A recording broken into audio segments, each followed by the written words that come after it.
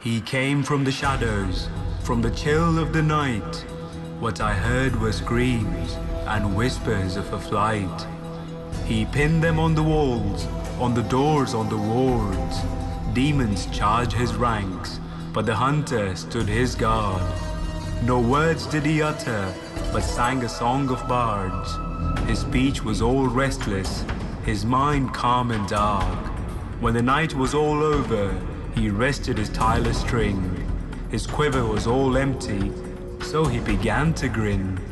What is your name, O Ranger of the Dark? Demon Hunter is my trade, and death is my mark. Hello everyone, I'm the Holy Hermit, and I'm glad to announce that days of culling are upon us again. Demon Hunter, a class considered weak, not suitable for MP10 solo farming has regained life. In this video, I will showcase a build and a gear setup that allows one to farm MP10 solo. The same aspect of this build would allow Demon Hunter to farm lower MPs at elevated speed for one of the fastest ways to farm XP. For no more treading in the dark, here we begin. In the first section of this video, I will showcase the gear requirements for this build. A hunter is quick and agile, speed is what makes it unique, so the gear setup will involve a demon hunter with lots of attack speed. Survivability is another important aspect of this build, so according to your own limits, you can choose to farm MP6 to 9 or MP10 itself. Higher MPs will of course require more defensive stats, but here is my summary of stats one needs. Vitality of 50k plus is needed till MP9 farming.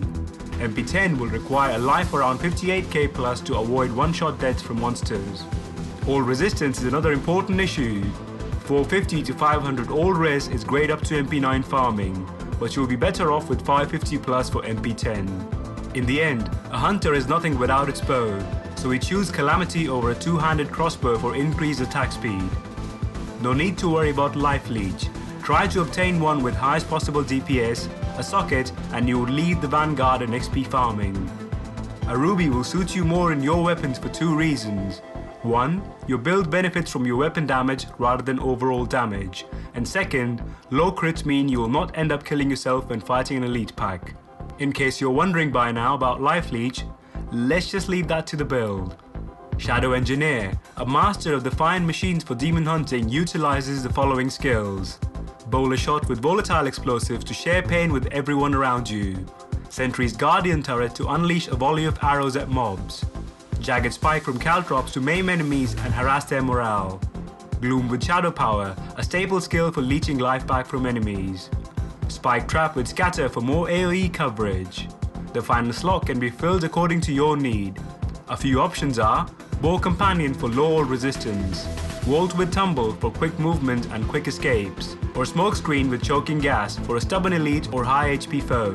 Passives are Night Stalker, Custom Engineer, and Archery. How many bolts does a Demon Hunter carry? Let's find out in this section where I explain the build in more details. The way your character is geared, especially if you're after MP10 farming, is to attack fast and have a favorable amount of defensive skill. All obtainable through careful maneuvering in the auction house, of course. This leads to a Demon Hunter with high attack rate and equally impressive weapon damage thanks to Calamity. I personally had attack speed of around 3. So the build utilizes skills that deal damage based on your weapon. The train of thought when dealing with enemies is to find a sizable group of enemies and lead the attack by casting Shadow Power with Caltrops. Once in position, unleash the fury of your bola shot to get everyone close.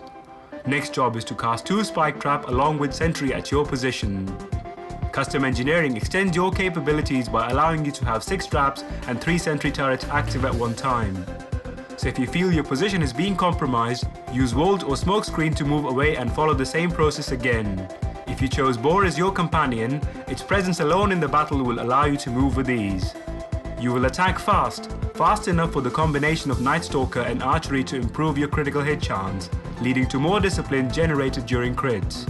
One train of thought would be to practice this build on low MPs first. You must understand that discipline is a valuable resource and you will not benefit from spamming any skills. Shadow Power can stay active for 5 seconds and Caltrops for 6, Use them at the end of your cycle and you'll have enough discipline if escape is needed at some instance. Keep your shadow power active, cast your spike trap when the old ones explode, keep attacking enemies with your bola shot, When facing numerous enemies or elites, cast your sentries for maximal AoE coverage. So this is the build for you.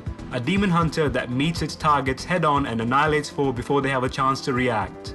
Give it a go and leave a comment sharing your thoughts. If you haven't, subscribe already to the channel for more builds and other gameplay videos. This has been the Holy Hermit for you. Take care of yourself and remember, a bow can pierce the flesh, a bolt can pierce an armor, but valor in battle can pierce the will of all.